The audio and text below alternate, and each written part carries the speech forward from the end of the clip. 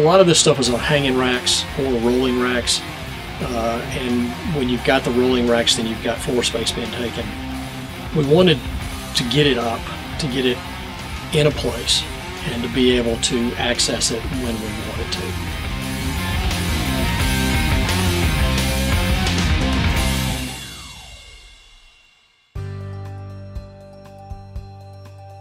We were able to customize what we wanted for each section and how we wanted that to work. And to this point, it's all worked out exactly like we asked. We were essentially able to, to individualize everything we did for the players and for the coaches. Um, it allowed us a little bit more flexibility uh, from a storage standpoint. Um, we actually brought stuff from one room into this room, uh, which freed up space in that room for more of the bulk storage that we needed.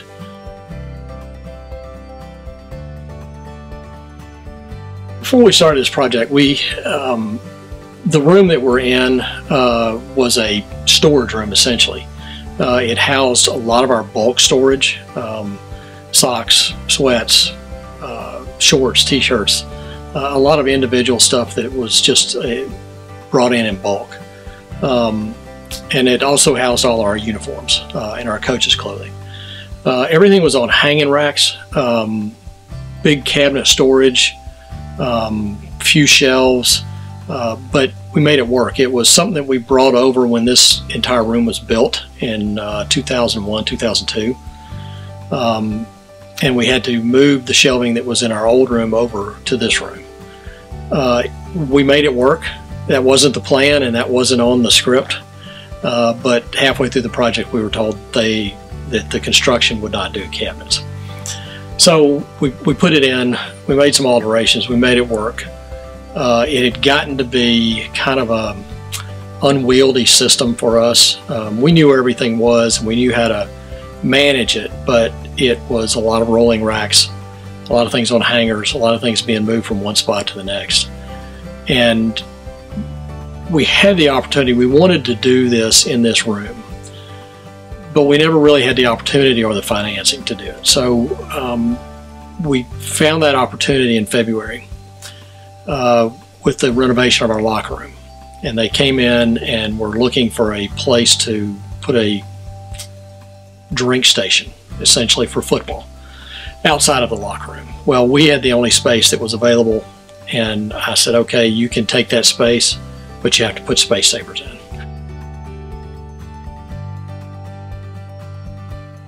Um, yeah, we've broken down the room into five or six sections, really.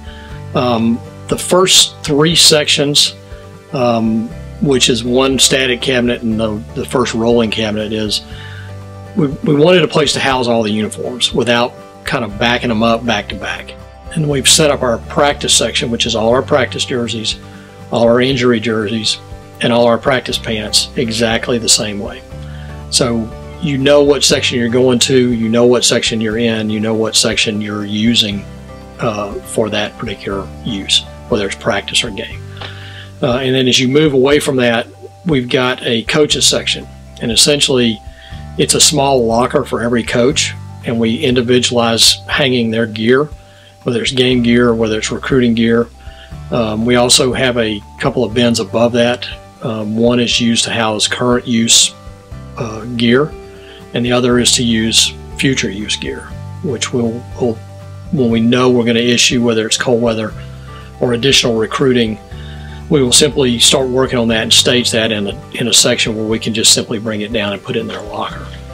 Um, as you move out of that, we've got a player section, and we'll use that um, in conjunction with another section in another room that we we stage gear for players, whether it's preseason workout gear, uh, whether it's their school start workout package, um, their travel wear, uh, and as you move beyond that, which is a seasonal thing, then we, if we start looking at a bowl game, then we will move that gear into those sections.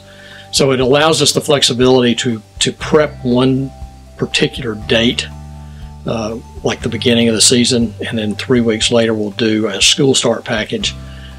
We can go back to that section and begin to prep that. And if we are prepping a um, a game day section, then we can use another section for that. So what we've done in the Spacesavers has allowed us a lot of flexibility in in our ability to stage, where we don't have to clear one section to move into it. Um, we simply bounce back and forth. And the section that we've got now, once we've done the travel wear, then we move or we use that for the season, so that we on a Friday we'll go in and pull all their travel bags for every traveler, and then on Monday we'll go back and reload them in those same sections. Uh, and then if you go above that, we will keep um, some of the staff hats, uh, some of the custom staff shoes. Um, and then our final section is our bulk, which is our laundry nets, our towels, anything that is a limited use product uh, and that we may only have to access whether it's once a week, once every two weeks, or once a month. Um, so we don't have to roll that section in and out as much. Um, so that's that's the uses of them. Uh, we did put a, uh, a folding table, a counter, uh, and part of that was to have the ability to to bring new gear in and get it ready for the shelving. Uh, also to house some of our smaller cases under there to get them out of a hallway.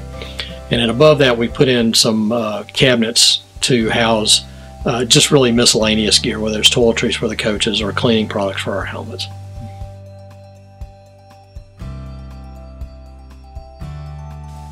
the variations and the use for now and future um, just in the same area was was the best thing we did was that we did take the time to, to really thoughtfully figure out what we wanted and what we needed. And we could look at the old room and say this is what we really need and this is what needs to change.